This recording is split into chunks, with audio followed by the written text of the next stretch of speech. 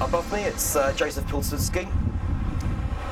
A national hero, an absolute icon in Poland. It's, uh, it's him who uh, he freed Poland basically from Russian control. After 100 years off the map, Poland became Poland once again in 1918, and he's the guy to credit.